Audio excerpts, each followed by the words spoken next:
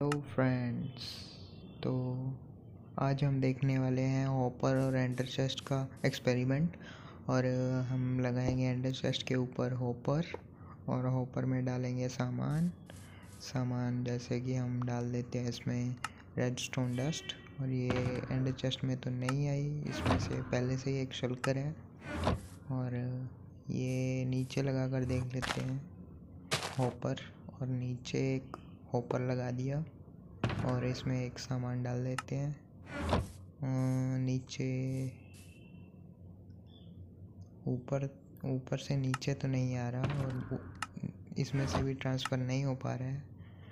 ये ऊपर में भी नहीं आया, नीचे वाले तो नहीं है ये पॉसिबल